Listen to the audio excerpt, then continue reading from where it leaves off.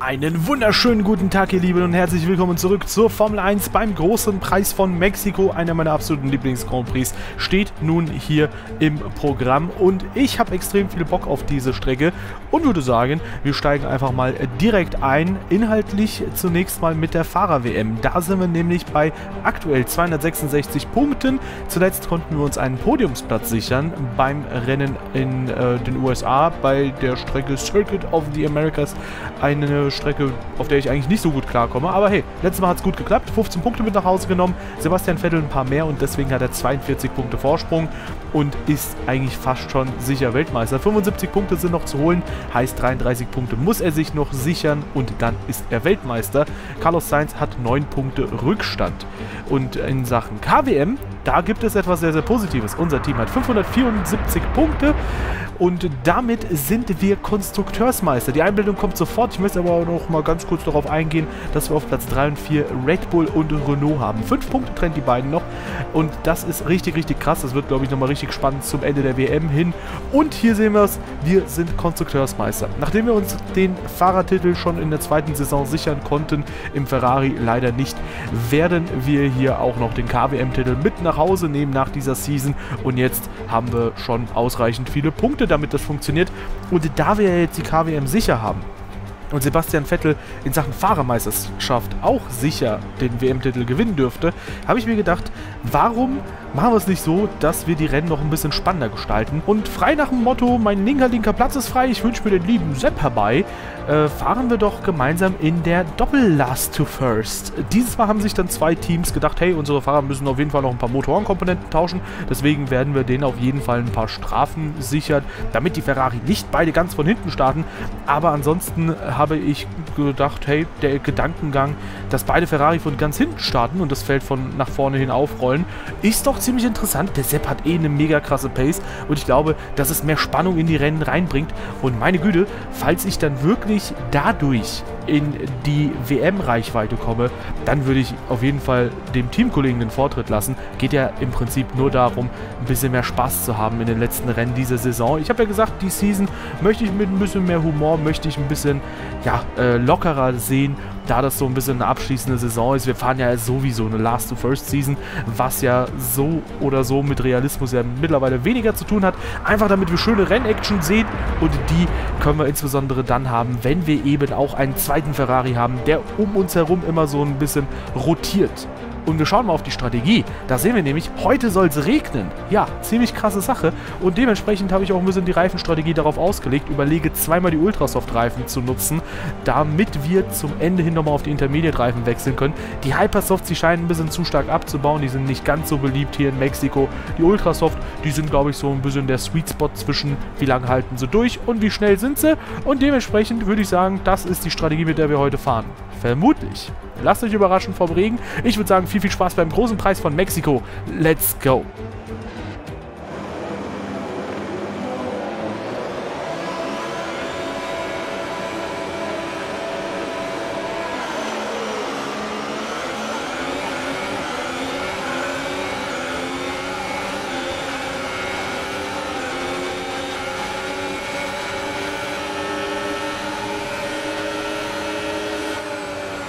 Bräuchte einen neuen Gang. Oh mein Gott, Alter. Oh boy.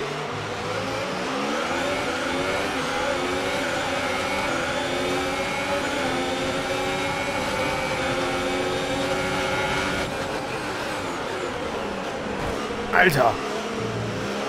Valtteri, ey.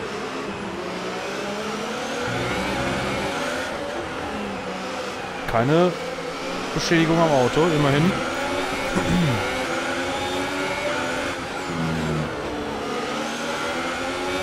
Oh, Magnussen und Russell, das kostet jetzt beide Ferrari-Piloten enorm viel Zeit. So, ab geht's.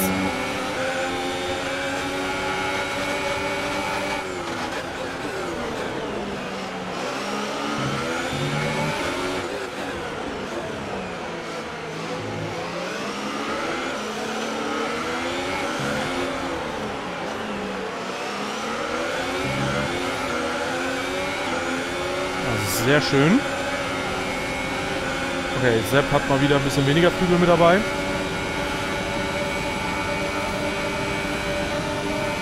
Hilft aber auch nur bis zu einem gewissen Punkt. Okay, anscheinend hat er mehr Flügel dabei. Keine Ahnung. Ja, so bleibe er erstmal vorne.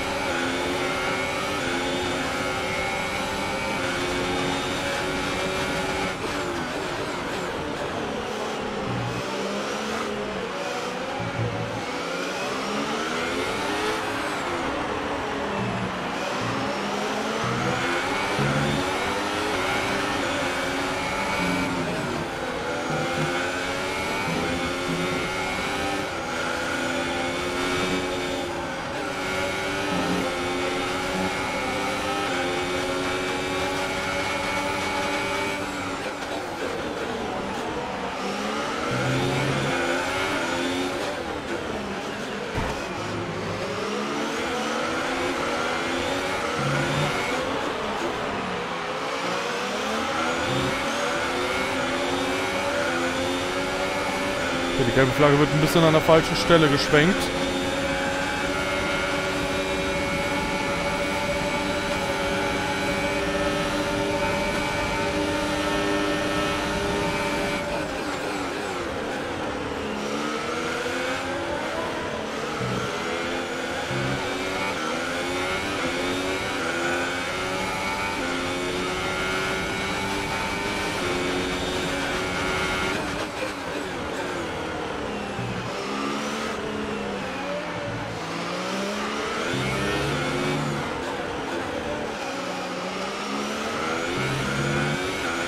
Auf geht's, ran an Sebastian Vettel. Okay.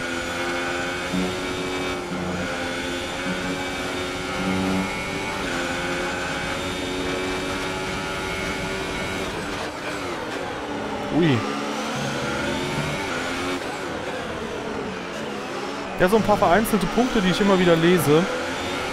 Äh, da möchte ich mal kurz drauf eingehen, denn ähm, ich glaube, es herrscht hier ein leichtes Missverständnis, was diese Mod angeht und was sie mit sich quasi bringt. Ich meine, schaut euch mal an, was für eine Topspeed wir jetzt haben. 374, im Qualifying war das sogar mit dem Max-Benzin-Gemisch 381 du fährst regulär nicht mit so einem Auto. Also in dem Spiel. Du fährst da nicht 382. Oder das habe ich halt in Monza erreicht. Das ist das Maximum, was das Auto hergibt. Aber die Autos sind natürlich so konzipiert, dass du nicht an das absolute Maximum herankommst. So, wir kommen aber ran. Und warum? Stellt man sich jetzt die Frage. Oh, Verstappen und Force India war das, glaube ich. Also Racing Point. Ähm, die Frage, man, man, stellt sich die Frage, okay, warum fahre ich denn so viel? Und ich bin da schon mal ein bisschen drauf eingegangen, dass die Mod eben die Leistung verändert.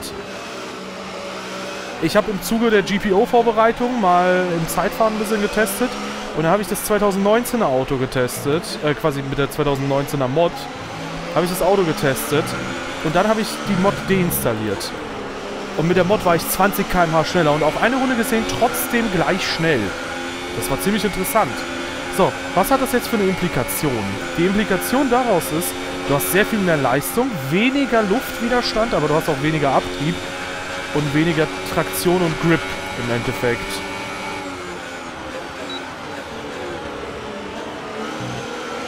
Und das führt eben dazu, dass man ein Fahrzeug hat, das eben so viel Leistung hat, dass es zum Beispiel beim Start nicht ganz auf die Strecke kriegst. Schaut euch mal die Starts beim Ligarennen an, bei den äh, Ligarennen, die ich mitgefahren bin, bei der DGRL. Das war ja inmitten dieser Season. Es kann ja nicht sein, dass ich da plötzlich Starts konnte und sie plötzlich wieder nicht kann. Also irgendeinen kausalen Zusammenhang muss es da geben. Insofern, ich vermute mal ganz, ganz stark, das Auto ist halt so viel stärker, und wenn ich die 2018 Mod mal wieder, äh, 19 Mod mal wieder rausnehmen würde, da wäre das Auto halt wieder schwächer, sodass ich dann wieder bessere Starts hinkriegen würde. Und eine Sache, die auch angesprochen wurde, die auch sehr, sehr viel Zustimmung bekommen hat. Ich finde es eigentlich ein bisschen schade, dass sowas auch sehr unkritisch quasi einfach ja, befürwortet wird und man sich gar keine Gedanken darüber macht, äh, woher das denn kommen könnte. Nämlich Thema Setup. Ich habe letztens den Elverflügel ausgetestet. Und zwar genau aus dem Grund. Das Auto hat... Oh, 381, vielleicht haben wir sogar die 82 geschafft. Ich habe genau aus dem Grund auch den Heck, Elver Heckflügel mitgenommen, weil du so viel Leistung hast, dass du das irgendwie auf die Straße bringen musst. Wir haben in Russland gesehen, oh Gott, wie das schief gehen kann, wenn du eben die viele Leistung ähm, nicht ummünzen kannst zu Power, die du auf die Straße kriegst. Vor allem beim Kurvenausgang. Sehr, sehr wichtig. So, da schreibt, schreibt man mir, ja, fahr doch weniger Flügel. Nee. Red Bull hatte zweiter, oder guckt euch ein aktuelles Beispiel. Guckt euch Ferrari an. Auf der Geraden richtig stark. Die haben mega viel Power. Die fahren mit viel, viel mehr Abtrieb oder mit viel, viel mehr Flügel als Mercedes. Abtrieb ist falsch. Die fahren mit viel mehr Flügel als Mercedes. Und trotzdem ist Mercedes viel stärker. Warum? Weil Geschwindigkeit auf der Geraden nicht das Wichtigste ist. Auch beim Überholen nicht. Red Bull, und jetzt komme ich auf das Beispiel, hatte in den Jahren, wo man im Qualifying das DRS oft öffnen konnte, so früh in der Parabolika das DRS offen, also in der letzten Kurve in Italien, dass sie am Anfang der Geraden so viel schneller waren, dass sie über die gesamte Gerade gesehen keine Zeit verloren haben zu den Teams, die mit weniger Abtrieb gefahren sind oder die allgemein weniger Abtrieb beim Auto hatten. Der Red Bull ist halt die Jahre über ein wahnsinniges Ab Abtriebsmonster gewesen. Und genau aus diesem Grund fahre ich halt auch mit sehr viel Heckflügel, um das einfach auch mal klarzustellen an der Stelle. Ihr habt in Russland gesehen, es kann sehr, sehr schnell schief gehen, wenn du ein bisschen weniger Flügel fährst und damit halt eben in problematischen Bereich kommst. Und wenn sowas anliegt, ich bin halt immer ein Fan davon, eher erstmal zu fragen nach den Beweggründen, hey, was, was ist denn jetzt genau oder warum genau macht man irgendwas? Ich frage auch erstmal, ja, was ist denn das Problem mit irgendwas, wenn irgendjemand sagt, hey, dieses oder jenes gefällt mir nicht. Genauso wäre halt auch der Punkt da ähm, sehr angemessen, wenn jemand eben sagt, hey, warum fährst du jetzt Elverheckflügel? Du musst doch von ganz hinten starten.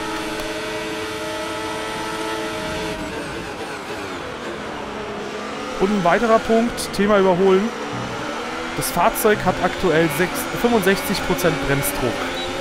Die Bremsen sind so krass und ich fahre mit so viel Heckflügel, dass ich schlicht und ergreifend deutlich später bremsen kann als alle anderen. Solange ich lieber abschieße, ist das vollkommen legitim.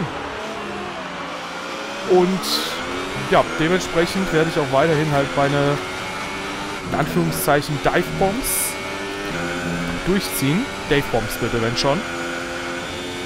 Weil das halt einfach legitime Überholmanöver sind, wenn die Stärken deines Fahrzeugs halt auch genau da liegen.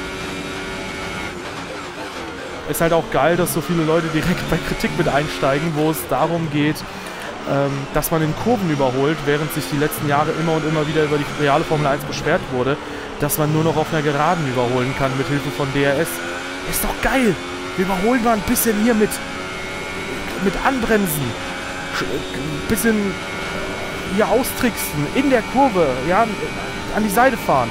In Suzuka habe ich mich sehr, sehr selten mit einer Divebomb gegen die Gegner behauptet. Ich bin einfach nur neben sie gefahren. Und zwar außen, schön in den S-Kurven. Bam!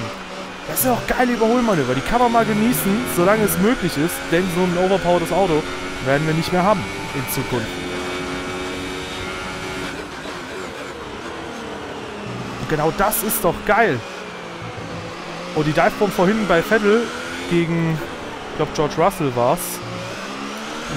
Und danach habe ich genauso eine Divebomb durchgezogen. Da hat aber George Russell die Tür zugezogen, gegen Vettel überhaupt nicht. Die ist so ein bisschen auch Indiz dafür, dass der liebe Sepp das halt auch macht. Und wir müssen ihn ja besiegen im WM-Kampf. Nee, was das angeht, Ich habe mir jetzt gedacht, hey, damit es einfach ein bisschen spannender wird, nach dem Motto, mein linker, linker Platz ist frei, ich wünsche mir Sepp herbei, packen wir uns den Sepp auch tatsächlich an die Seite und versuchen mit ihm möglichst weit nach vorne zu kommen.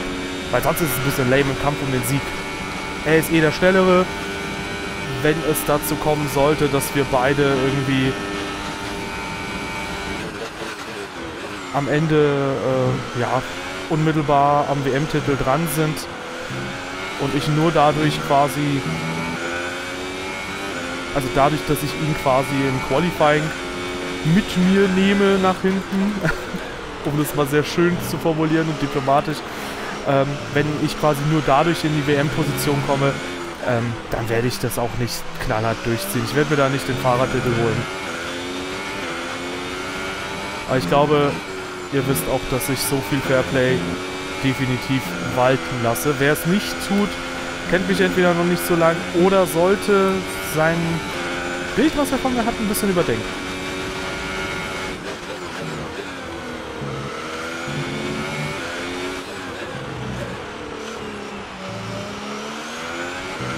Denn mir geht es um schöne Rennen.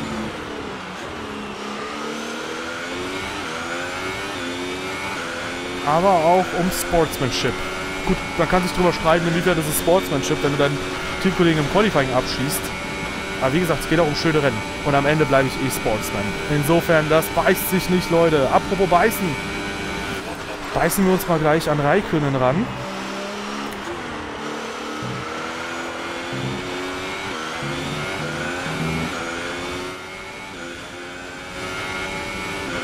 Regen in 10 Minuten, oh je. So früh schon.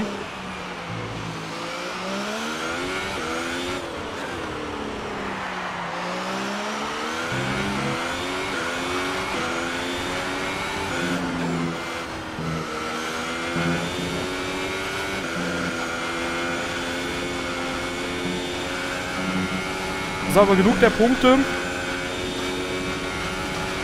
Ich habe alles erklärt, was es da zu erklären gibt. Es ist sinnvoll, mit diesem Fahrzeug, so wie es hier ist, mit der Mod und vier Jahren Karriereentwicklungsfortschritt, wir haben fast alle Upgrades, ähm, super viel Heckflügel zu fahren, die Vorteile daraus zu ziehen und auch die Fahrweise so anzupassen, wie es das Auto nicht nur empfiehlt, sondern auch unbedingt bedingt. Coole Formulierung. So, weiter geht's. Ich werde auch nicht so super lang mehr draußen bleiben.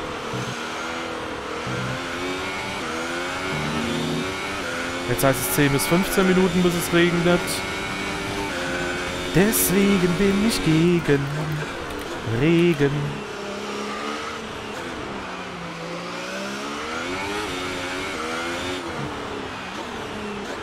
Oh je, ey.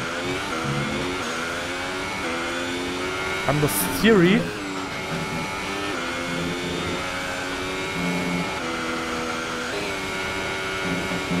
Naja, beim letzten Video sind eben viele Leute da eingestiegen, deswegen für alle mal erläutert, what the reasons are behind the decisions.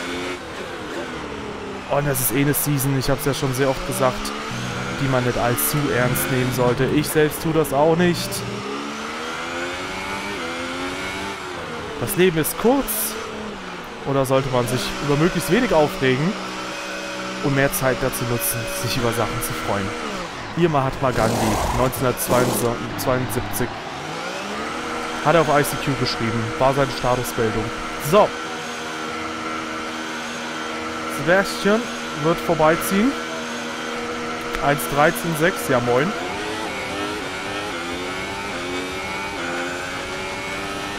Ich bin aber nicht so weit entfernt. Hm?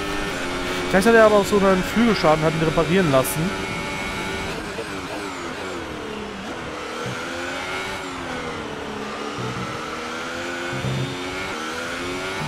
Okay, Science bezieht sich vielleicht sogar auf einen Renault weiter vorne. Ich weiß nicht, ob man die vorhandenen Namen hin und her verschieben kann. Das wäre natürlich sehr cool.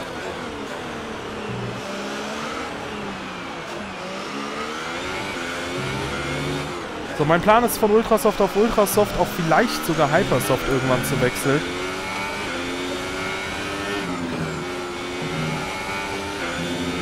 Und falls die Hypersoft nicht mehr anstehen sollten, weil es zu stark regnet, dann wechsle ich halt dann auf Intermediates.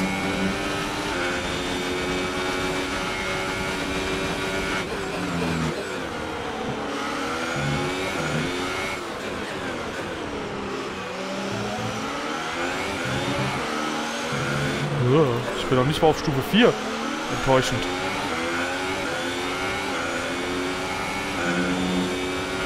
Trotzdem DRS.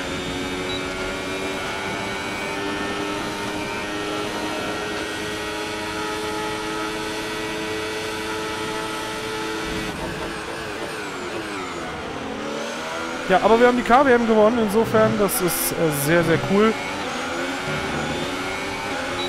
Haben auch das mal geschafft in der Karriere.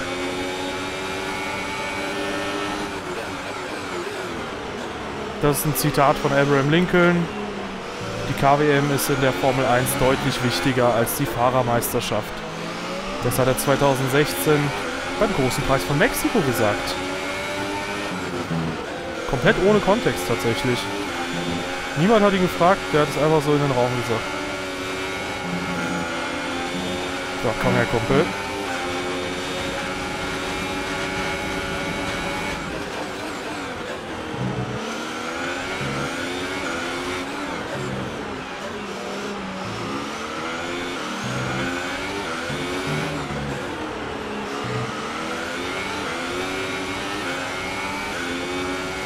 ich meine sogar jetzt habe ich ein leichtes Snap-Overstay hin und wieder auf dem Heck.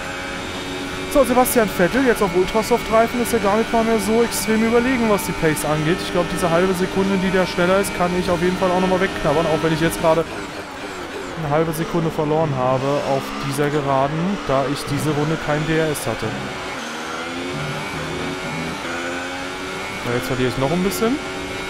Danach geht die Reise nach vorne. Sieben Zehntel, okay, krass.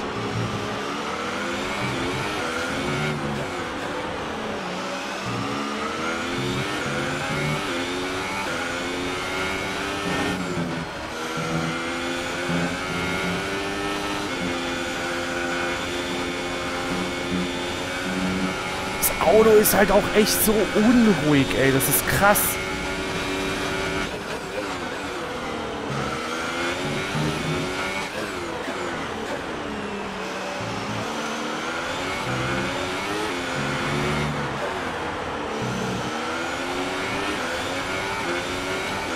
7 Zehntel Sekunden schneller gefahren. Bäm, Junge!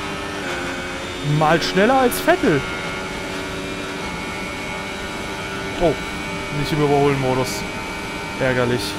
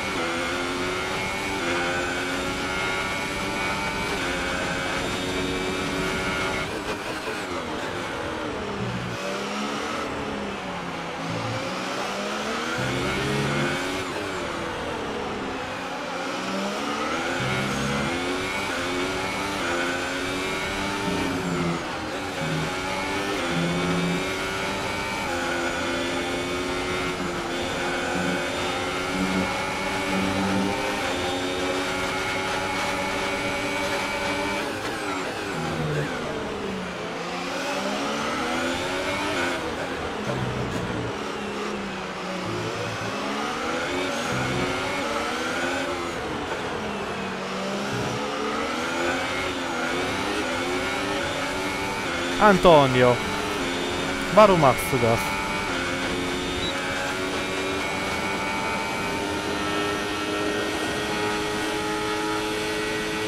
Ja, läuft. Hallo Sepp. Hast gedacht, dass wenn Giovinazzi mich aufhält, ich plötzlich ganz weit weg bin, ne? Ja, dachte ich auch, aber hi. P6 im Moment.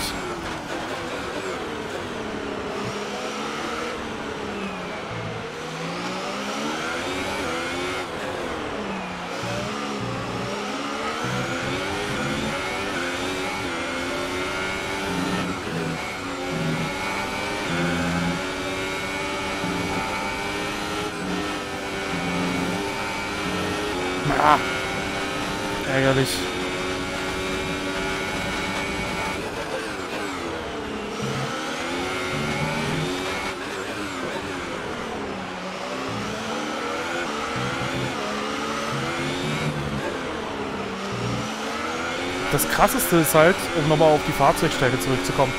Ich meine, wie gesagt, ich bin bei 65% Bremsdruck. Und ihr seht ja, wie krass wir bremsen. Also, ich habe heute in Mexiko mal eine Quali-Runde probiert. Ich meine, ihr seht ja gerade, ich bin im Renntrim eine 1.13.4 jetzt gefahren. Im Quali war ich bei 1.11. Und in der Liga, da ist äh, Corny, seines Zeichens AOR Split 1 Fahrer, schönen Gruß, eine 1.16.3 hier gefahren. Und das ist... Das untermauert nochmal so ein bisschen, wie krass dieses Auto ist. Ich bin mit diesem Auto... Ärgerlich. Oh, aber zum Glück kein Schaden. Ich bin mit diesem Auto 5 Sekunden schneller als äh, jemand, der sehr E-Sports nah fährt. Klar, die Unterschiede hier werden immer je näher du an E-Sports rankommst, desto kleiner werden die Unterschiede. Trotzdem, ich bin für gewöhnlich so etwa eine halbe, ja, wenn es hochkommt, mal pro Schräge wahrscheinlich eine Sekunde, vielleicht auch mal langsamer als er. Ich glaube, wenn ich ein bisschen mehr üben würde, dann würde es halt ein bisschen weniger werden. Dann geht es schon etwa an die halbe Sekunde. Aber ähm, ja, so oder so. Ich glaube, er würde eine 1.10er Zeit mit dem Ding hier fahren. Oder vielleicht sogar unter die 1.10 kommen. Und hier sieht man auch unter anderem, warum, was das Teil für eine Leistung abruft. Das ist der Hammer.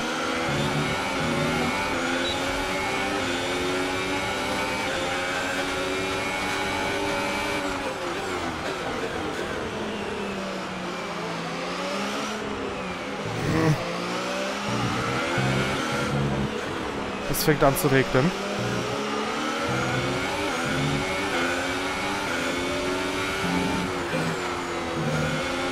Oh Gott.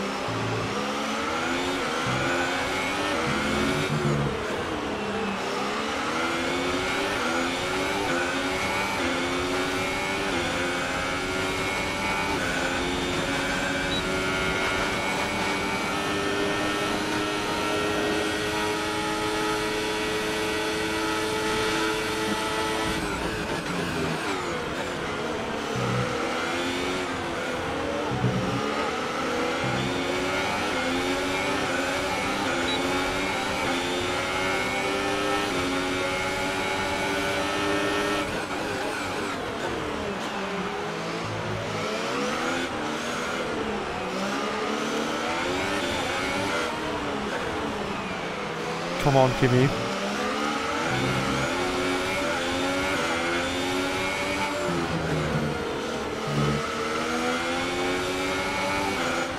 Oh, der kostet mich jetzt eine Sekunde oder mehr. Schaut mal, wie weit Vettel ist.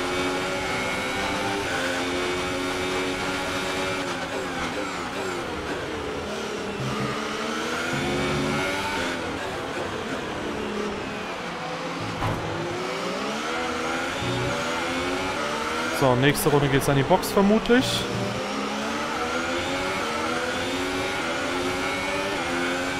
Wow, der Exit. Ja, ich weiß, ich fahre trotz Elber Heckflügel 381 oder vielleicht sogar 82 km Spitze.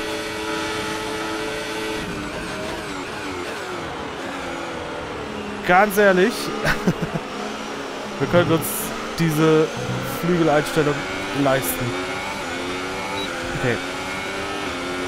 Nein, jetzt sag mir bitte nicht, dass ich in dieser Runde reinkommen soll. Doch, muss ich.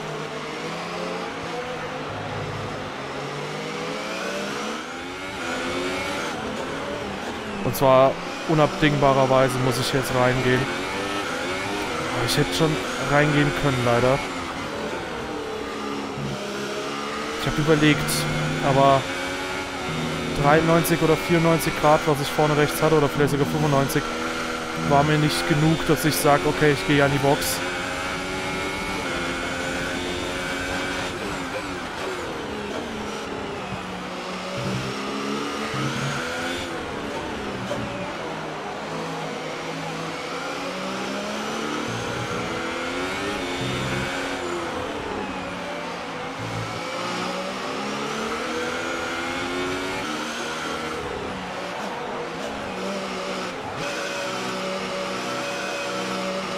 Okay, Box, Box, Box.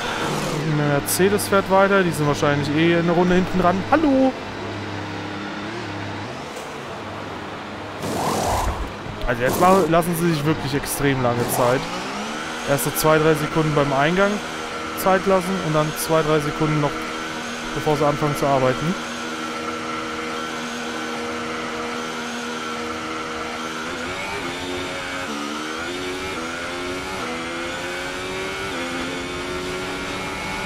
So, ab geht's.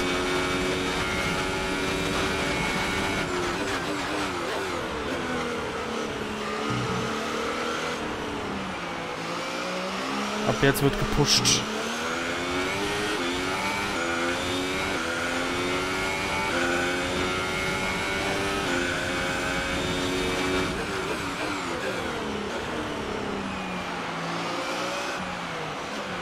Ich habe safe 7, 8 Sekunden verloren zu Vettel.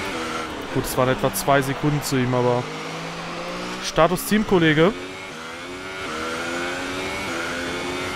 9,3 Sekunden. Das sind 6, 7 Sekunden, die ich verloren habe.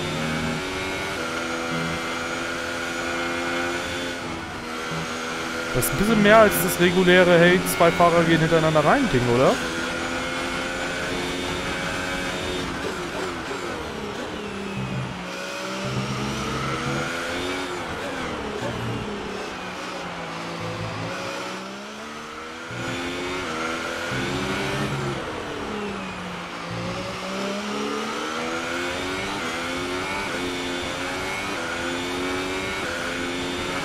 ...3,6 Sekunden sogar im letzten Sektor ein bisschen rangekommen. Vor mir jetzt ein Renault. Nico Hülkenberg.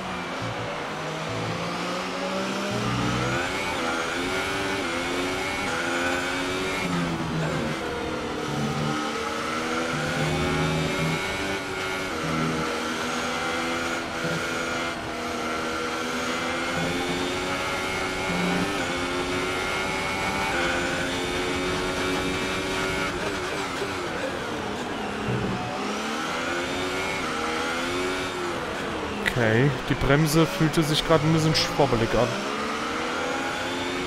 Ich nenne sie nicht Schwibbelschwobbel.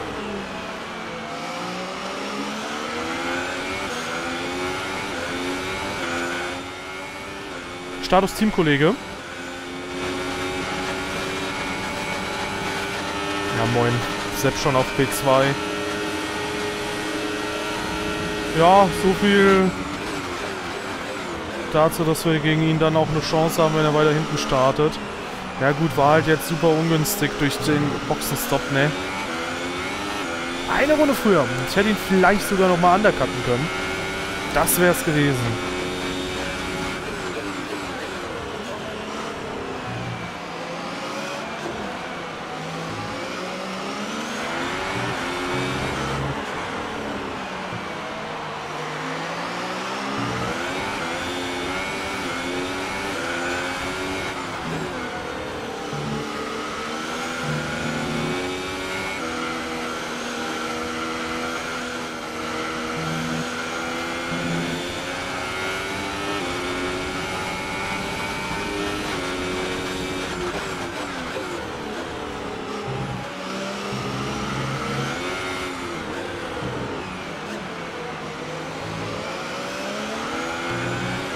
Schön schnell rangekommen an Lando Norris. Also von meiner Regenpace habe ich nicht so viel verloren. Status Teamkollege. Eine Sekunde näher. Achso, okay, gut, der hängt auch hinterm Renault fest.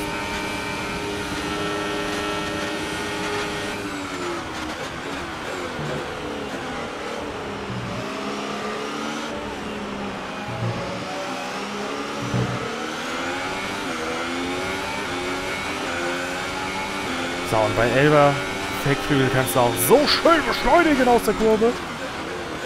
Und auch schön bremsen in die Kurve.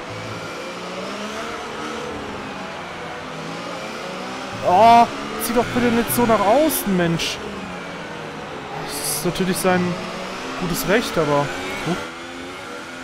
Ja, ist eine gute alternative Strategie. Ich gehe nicht mehr an die Box. Das Kampflinie, ey. Sorry an die rechte Seite meines Frontflügels und Props. Dass das Ding bis jetzt noch hält.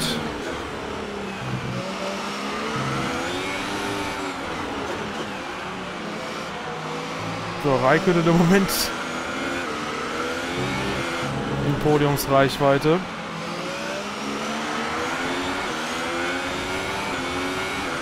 Jeff, sei leise. Bitte.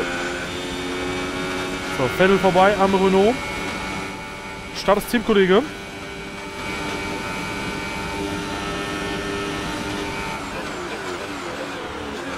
Neuneinhalb Sekunden. Ich glaube, der Fight gegen Van Dorn hat viel Zeit gekostet. Immerhin hole ich die schnellste Rennrunde nach Hause. Kann man ja auch mal machen.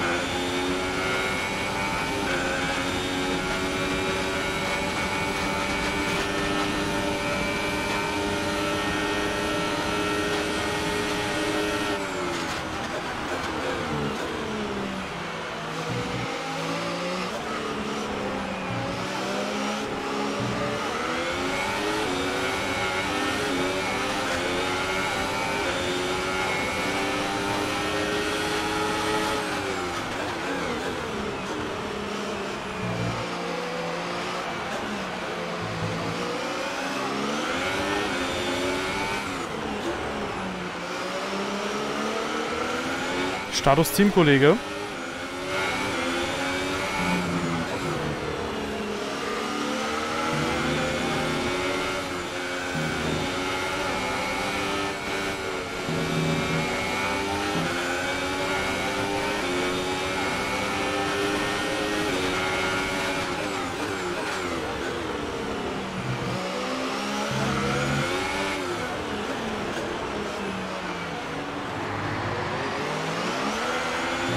Raikkonen wäre da fast stehen geblieben. Mein Herz auch. So, jetzt aber. 24-3. Status Teamkollege. Status Teamkollege.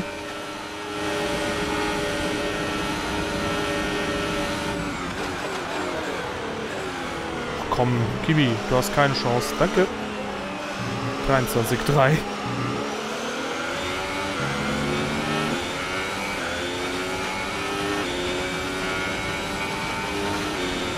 So, aber den Renault will ich auf jeden Fall noch kriegen. Ja, und das Projekt Double Last to First ist ein voller Erfolg. Also Sebastian Vettel gewinnt das Ding hier trotzdem. Ich habe auch ein bisschen mehr Spaß mit ihm an der Seite gehabt.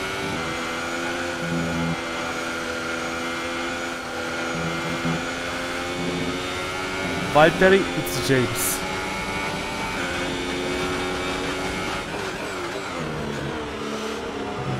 David is faster than you. Uiuiuiui.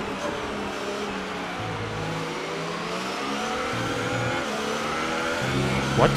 Okay. Los, Valtteri, rein mit dir. Das ist der falsche Weg gewesen. Okay.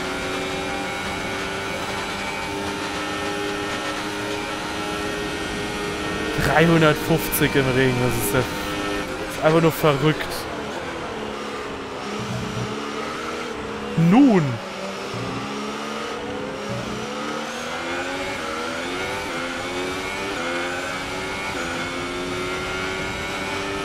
Was machen die drei jungen Recken hinter mir?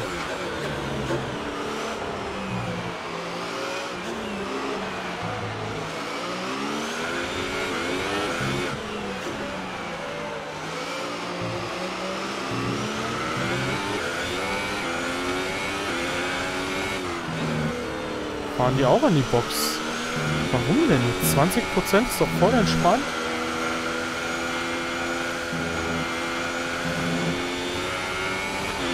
Und die fahren mit Sicherheit nicht mit so einem hohen Motormodus wie ich, oder? Fahren mit einem viel klügeren Modus.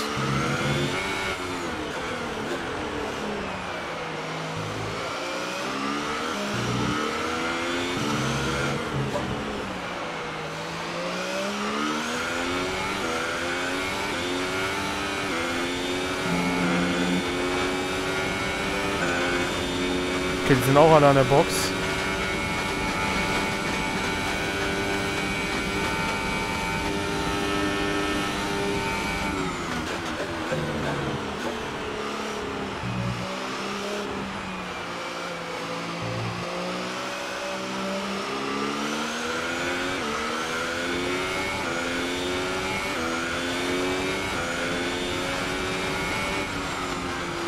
Na, was geht bei euch so ab? Haut's mal in die Kommentare. Haut gerne auch mal ein Like raus, wenn euch das Video gefällt.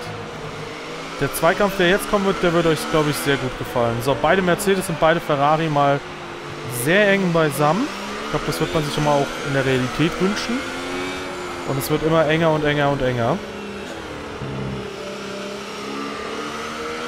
Gelbe Flaggen auf Startziel.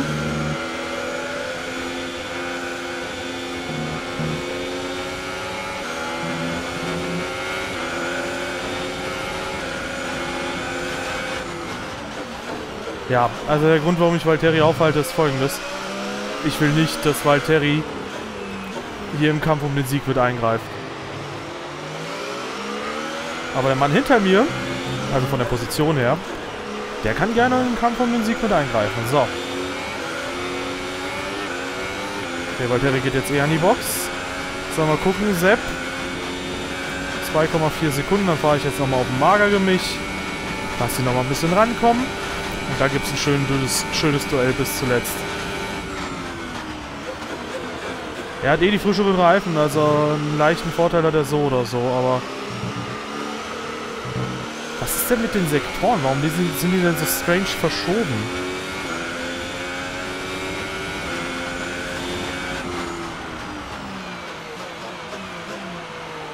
So, zwei Sekunden. Jetzt ist er aber dran. Okay, auf geht's. The Battle of the Giants.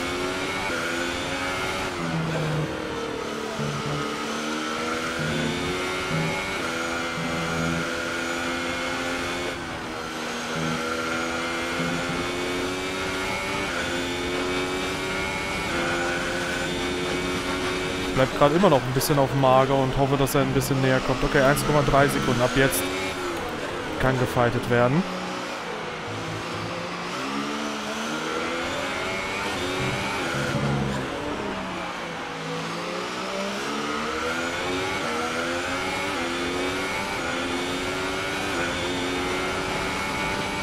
So, eine Sekunde. So, let's go. Also wie gesagt, Sportsmanship wird hier groß geschrieben, denn das ist ein Nomen.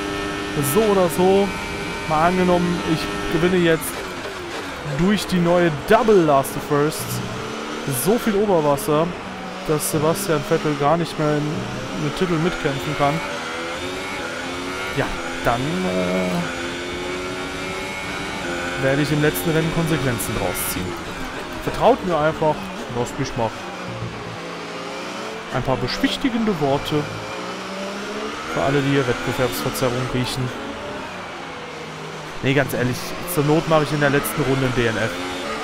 Das war auch letzte Season mit Nico Hülkenberg so, da habe ich mir auch gedacht, hey, lasse ich den vorbei, wird wenigstens der Weltmeister.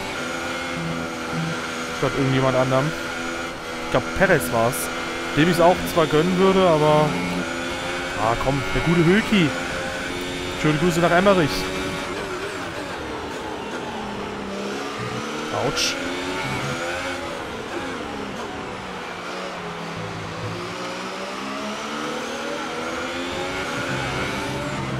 Okay, vier Runden wird noch gefightet.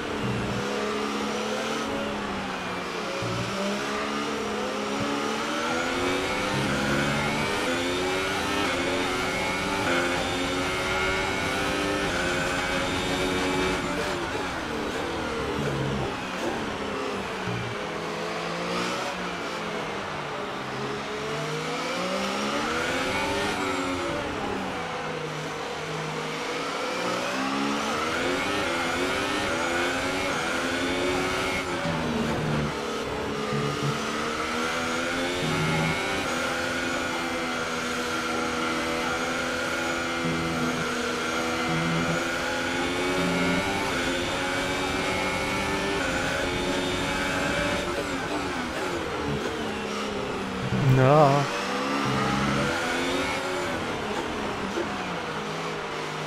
Okay, drei Runden.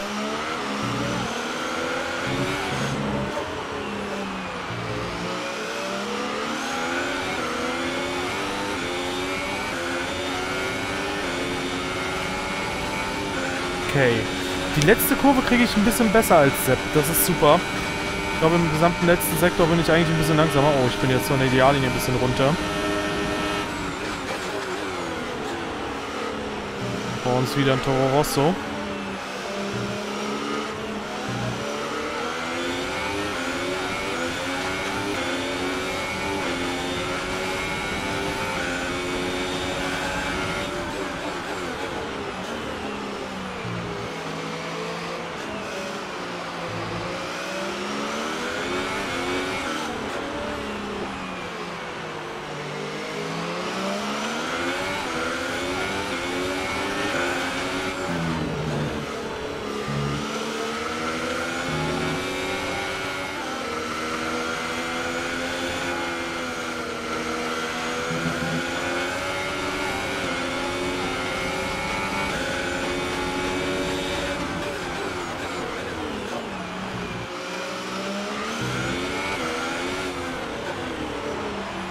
Das heißt, da außen probiert hätte ich nicht erwartet.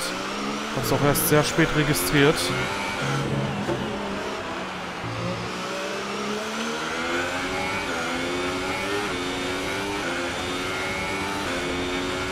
Wow. Wo kommt der Zeitabstand jetzt plötzlich her? Okay.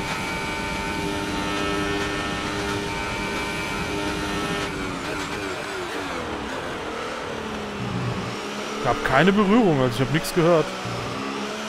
Also er kann keinen Flügelschaden haben oder so.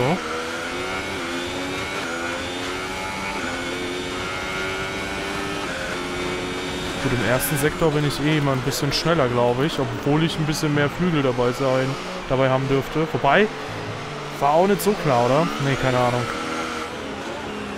Komisch.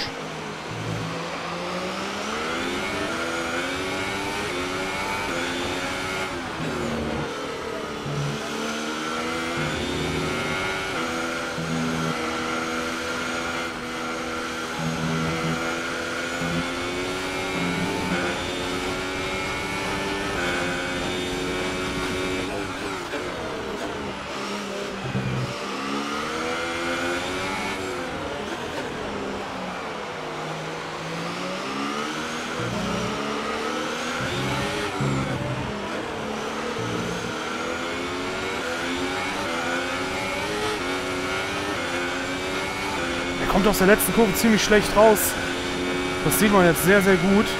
Aber zwischendurch habe ich sogar die weißen Pfeile schon gesehen. Und jetzt ist er wieder fast aus dem DRS-Fenster wieder raus sogar. Also aus dem 1-Sekunden-Fenster.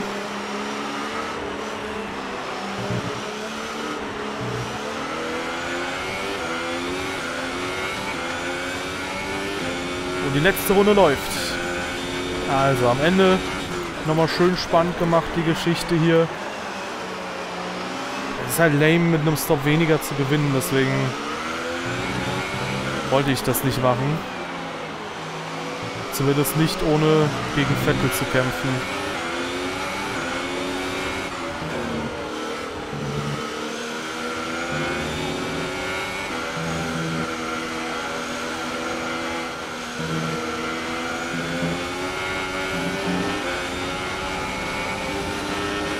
So, den Exit der S-Kurven super bekommen.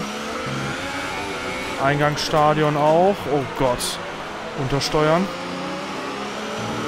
Nicht zu sehr... Nicht zu aggressiv reingehen, sonst untersteuert es noch stärker. Und jetzt sind wir in der letzten Kurve. Und das ist es!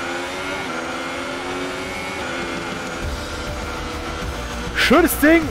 Geile Sache. Ja. GG. Ferrari Doppelsieg. Nummer, keine Ahnung. das sind nicht ganz so viele. Ja, wobei es könnten.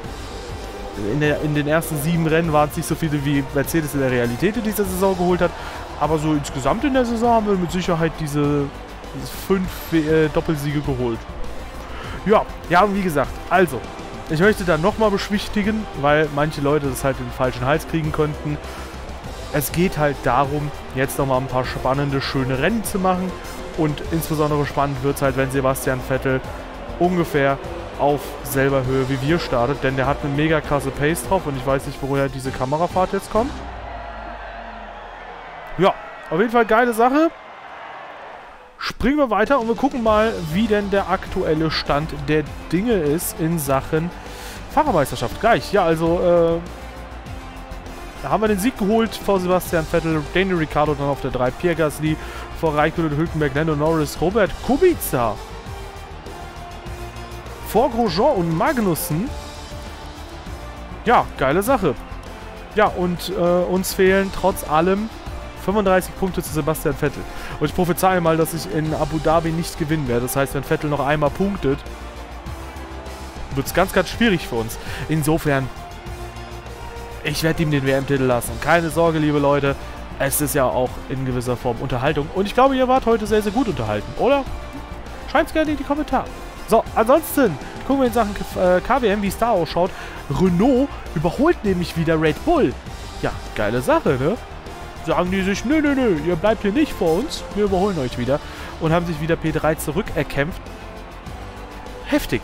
So, und äh, wir gucken auch nochmal ganz hinten. Da haben wir nämlich Williams, die durch die vier Punkte, die Robert Kubica jetzt geholt hat, nämlich auf Platz 9 sind. Und wie ich so schön gelesen habe in der letzten, im letzten Video, Mercedes macht eine First to Last Season. Das fand ich sehr, sehr lustig. Props nochmal da an den Kommentar.